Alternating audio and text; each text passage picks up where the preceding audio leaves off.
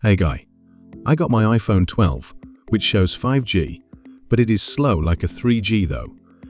Sometime the 5G icon is not even showing.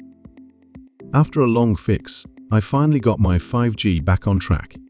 If your iPhone 5G not working too, specifically after update to iOS 17, no worries. Here we'll provide you with all the information you need to troubleshoot and solve this problem. Let's get started. The first step is to check if both your device and carrier support 5G or not. These iPhone series are all supported with 5G and you can go to Settings. Tap on Cellular and Cellular Data Options. Look for the option Voice and Data, then ensure 5G on or 5G Auto is selected. If 5G is not available to options, contact your carrier about your cellular plans. Here we can see that these options come with some notes. It shows us that battery settings and the low data mode may infect your 5G connectivity. So we can go back and go to data mode. The low data mode may infect your 5G connectivity, so we can choose always allow more data on 5G here. And same for the low power mode, we can find the battery in settings and turn off low power mode if it was on. Back to cellular part. If you are traveling or using a different region SIM card, make sure your carrier supports data roaming and turn it on that it can avoid 5G not working issue. If you have an iPhone with dual SIM capability, it's important to check your cellular plans and make sure both plans use the same carrier and support 5G connectivity you can call the carrier to update it. And if you accidentally turn on airplane mode, you can't get 5G for sure, so make sure to turn it off. But I guess you guys would notice that. Then you can test your 5G connection by downloading an app or website to see if the 5G is working well. Normally the internet speed will return to normal, but if all that can't do the trick, here are another 6 fixes for you to try you can check the timestamps in the description and jump to the part that suits you.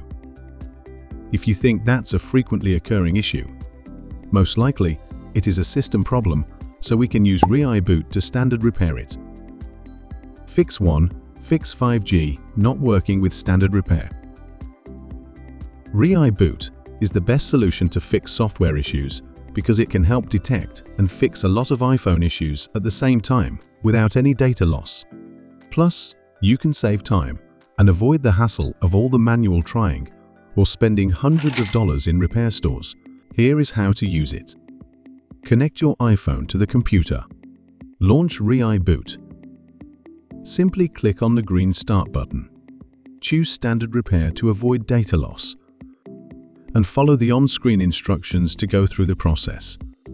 Although it is a paid version, it is worth a try as it could keep all your data and your 5G problem will be fixed. Then you can test your 5G connection.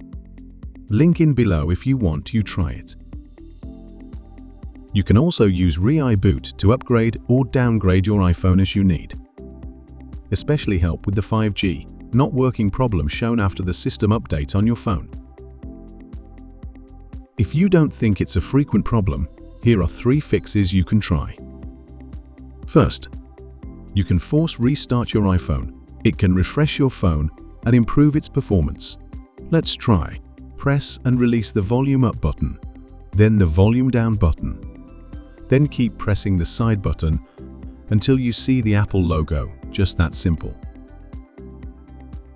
Or you can replug your SIM card or log into your eSIM again. It may just be a bad SIM card contact or a slight delay in your network service.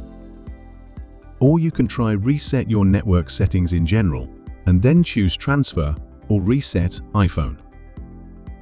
Use this reset network settings to see if this helps.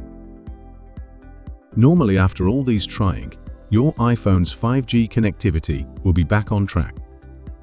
If all these methods are not working, it may be the hardware or the cellular services problem. So go contact the support team for help, whether it's cellular or Apple support.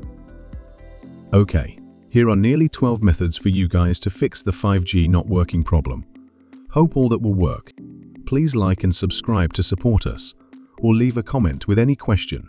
Whether it is related or not, we are always here to help. Stay tuned for our upcoming videos. See you next time.